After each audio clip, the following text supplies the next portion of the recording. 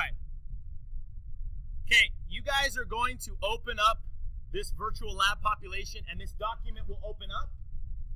Uh, you guys are going to click this link, and it takes you to this virtual lab. Okay?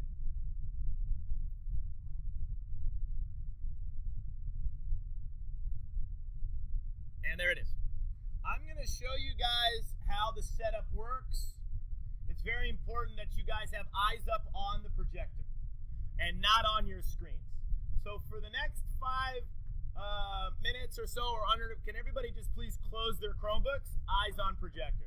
One, two, three. Everybody close your Chromebooks. Thank you. Eyes on the projector. This is going to be screencast. I'll throw this on the Google Classroom. Okay, so the first thing you guys got to notice is that these three test tubes have food in them.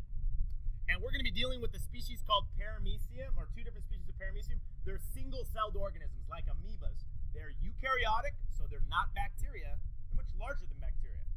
And so I have one species called Paramecium caudatum. Paramecium caudatum stock culture. And they're going to be in this little uh, vial. And then the other one is Paramecium aurelia. Paramecium aurelia stock culture. So you're going to click the first one by clicking on that and then drag it over to the first test tube. And so that's this species in that test tube. The second species goes into the second test tube. And guess what goes into the third? Both of them. So I and click and drag.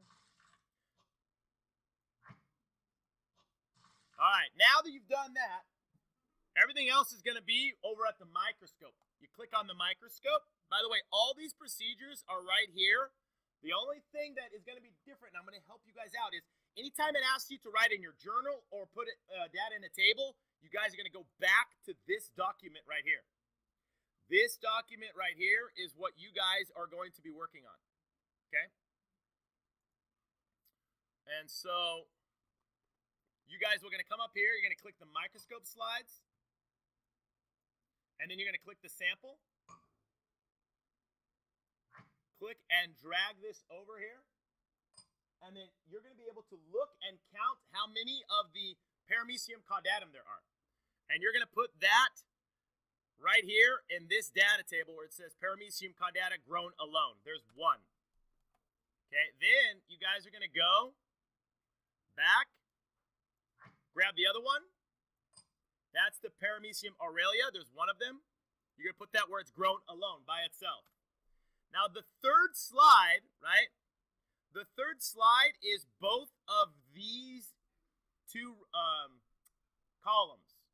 So the third slide, they're both together in the same mixture.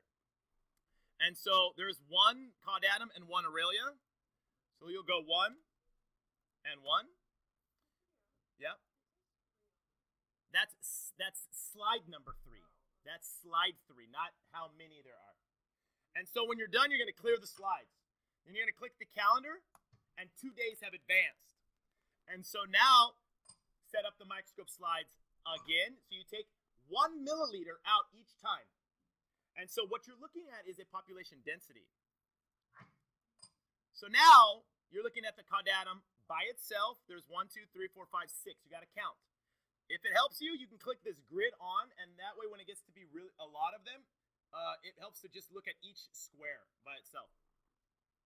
And so one, two, three, four, five, six. You'll go over here. There's six of the caudatum. You'll go back. There's four of the aurelia. And then together, you got one, two, three, four, five caudatum.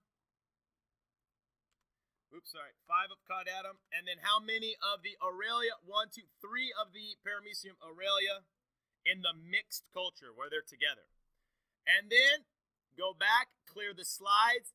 Now we're at day four, and you're going to set up more microscope slides. You're going to fill out this entire data table. And when you're done, you're going to click here to show how to make chart one. Click here to show how to make chart two you I'm going to help you guys with those graphs as we're doing because that's going to be the hardest part, I think. And then after you have your two graphs, you're going to use that data to answer these questions. None of your data goes in here. None of it. Do not use this table And do not answer any questions in this journal. It's all in this Google Doc. Okay?